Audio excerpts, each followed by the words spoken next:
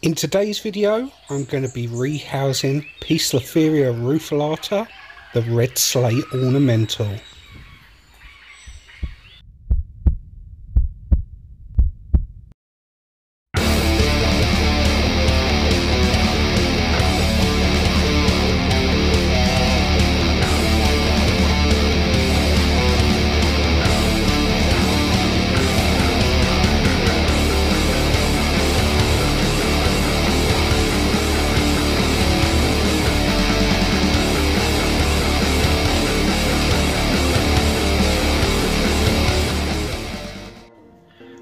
Everybody. Welcome to this latest episode. I am your host, Robbie, and this is Robbie's Talking Ts. Tarantula content for tarantula lovers just like yourselves. If you're looking to become a better tarantula keeper or just want to admire these animals, make sure to subscribe to the channel, comment down below, and hit that like button. In today's video, I'm going to be rehousing my Poecilotheria rufilata female into a gorgeous bioactive enclosure. So let's show you that rehousing. So here we have the uh, rufilata enclosure. As you can see, it's in need of a good clean up, which I normally do weekly and get all the poop and stuff off there and clean it up in general. But I thought, you know what, this week I'm not just going to clean it up, I'm actually going to do a bioactive enclosure and just completely start it from scratch which I think is a much, much, much better idea. Now, I did recently sex this as a female. And you know what? I have no idea which cork bark she is in. I think she's in the big one here. So, I'm just going to have a little look down there and see if I can spot her because I obviously don't want to go putting my hands in there and messing about with with the enclosure. And I ah yeah she's in this bit of cork bark right. At least I know where she's at. And I know where to get her out from. Also I don't advise you guys go putting your hands inside Poecilotheria enclosures but because I know where she's at I'm really not much risk. I am going to use some tongs though. Don't you hate it when people take time in taking everything out of their enclosures? For God's sakes, Rob, just speed it up and let's show them what happens when we try and get her out of the cork bark.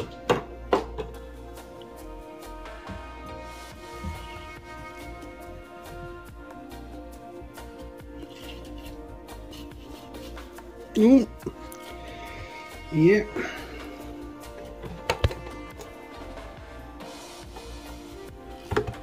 This is the difficult part. How am I going to get her out? She is right down the bottom here. Just make out her feet.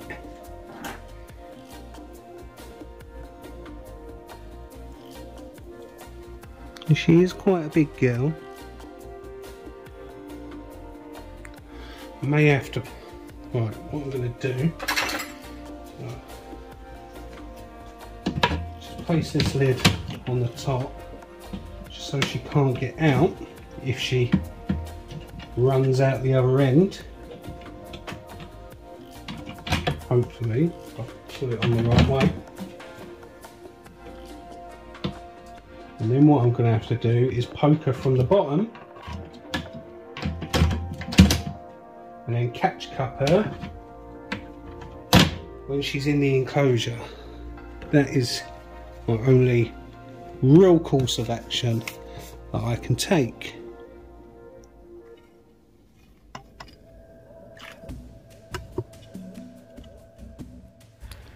And so the ordeal continued. I poked and prodded and poked and prodded and this girl just wouldn't come out of the cork bark tube. The problem I had was it was like a U shape and where I was using this straight pointer extender to try and get her out of the cork bark it just wouldn't turn the corner. Just enough just to poke her out the end. So I had to use a bit of ingenuity and a little thought power. And you know what? We came up with a solution. It wasn't conventional, but let's show you what we did. Right, we're going to bring out the big guns now. Got this bit of plastic that should bend, bend around the cork tube. And hopefully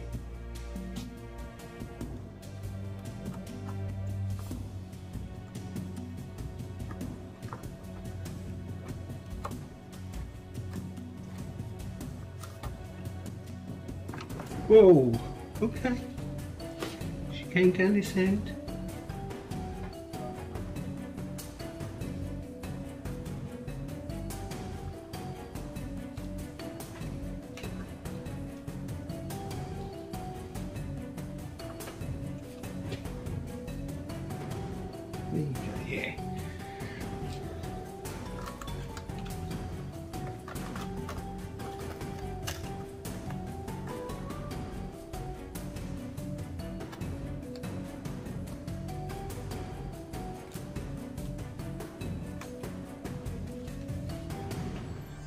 That's it.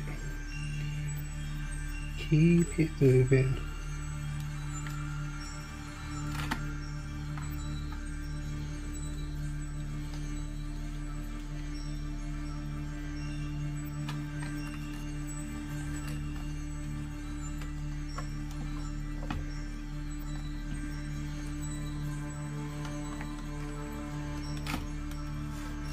No, don't go back in.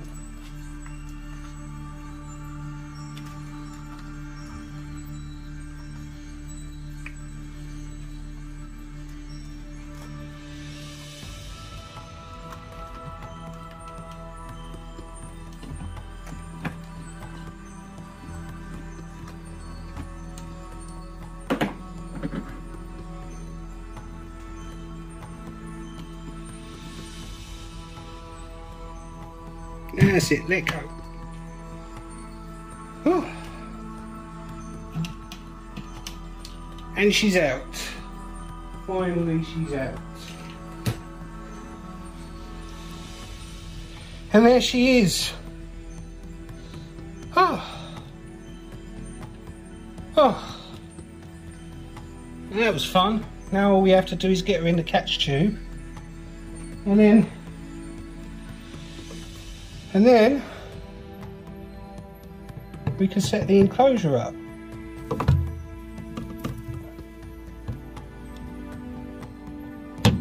it's gone up the top. Now I don't mind it when they go up the top because it makes it a little bit easier to get them in, in the tube. I'm going to do is I'm going to place the tube here, like so.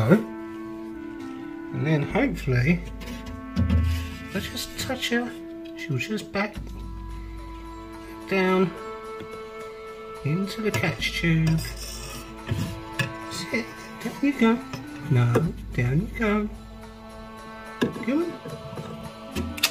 Ah, so annoying. Typical Poecilotheria behaviour. But we're going to go again go again.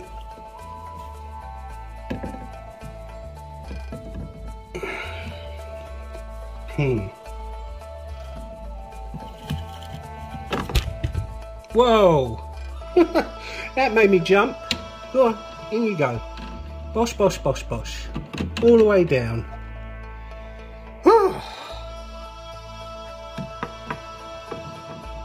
Good girl. Good girl. Right, let's get you guys a better look at her, shall we? So there it is, Poecilotheria rufilata. Now this is a female. Just glad to have her in the catch tube finally. You're going to get a better home. Love the coloration and the markings on these.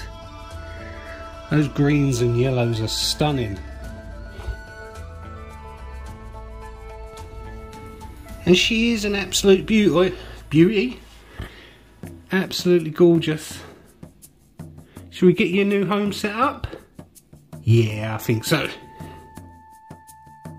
So let's quickly go through setting up the new enclosure, quickly cleaning it out before sticking everything in it. This is my normal bioactive setup. We do use clay balls, the mesh. We also use my normal substrate, which is cocoa fibre, topsoil and vermiculite.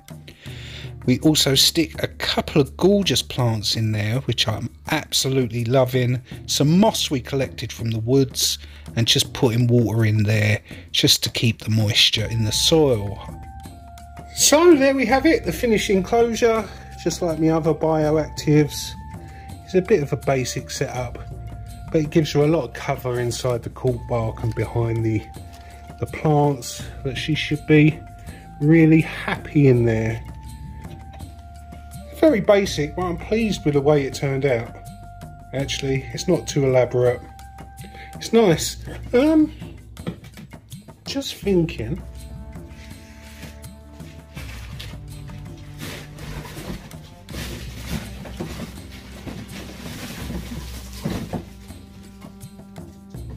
We've added some couple of extra little touches just to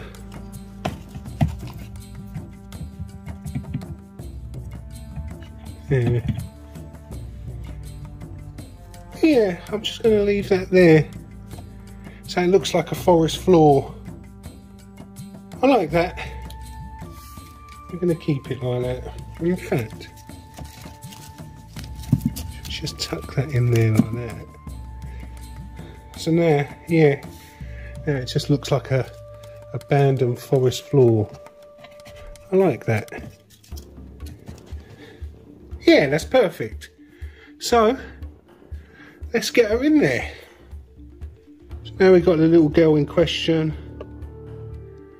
I think she's ready for a new home, don't you? Such a stunning species of tarantula.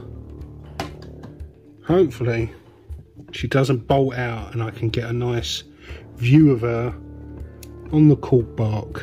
And looking at her, her camouflage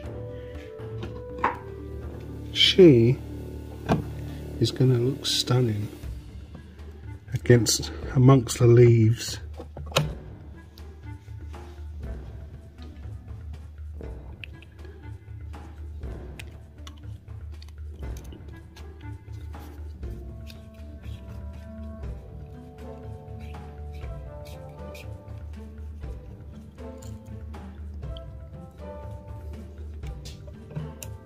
Come on, off you pop.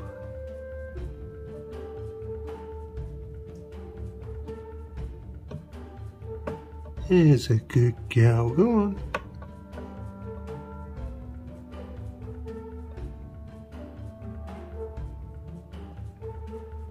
Nice new enclosure.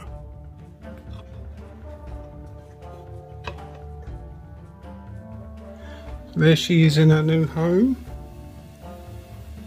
hopefully she turns around and comes back. Would be nice to see her colours against the natural backdrop.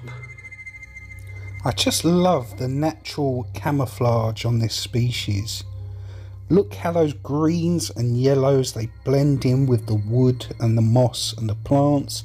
You would never see it if it was right in front of you in the wild absolutely gorgeous species. If you're into Poecilotheria like I am, I highly recommend you pick one of these up. They are so beautiful, easy to take care of.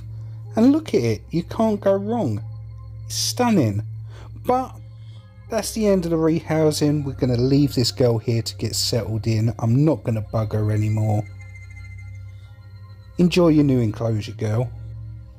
So there you have it a not so straightforward rehousing this time. It was difficult getting that Poecilotheria out of that cork bark, but with a little perseverance and a little bit of ingenuity using that toy arrow managed to get it out of there and into the new enclosure in one piece so all in all a very successful rehousing for a very stunning spider now this is the end of the video but before we go i want to take the time to remind you guys about the 2000 subscriber giveaway we've got going on the channel at 2000 subscribers i'll be giving one of you the chance to win everybody's favourite species, a T. seladonia.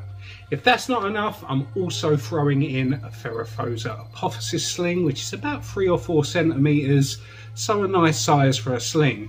If that's something you're interested in, all you have to do is be subscribed to the channel, go over and watch my Grammostola rosea video, and just type T. seladonia in the comments. Once you've done that, you'll be entered. Now all that's been said, I'm going to finish the video here. I hope you have a great day and a great week. I'll see you in the next video. Take care.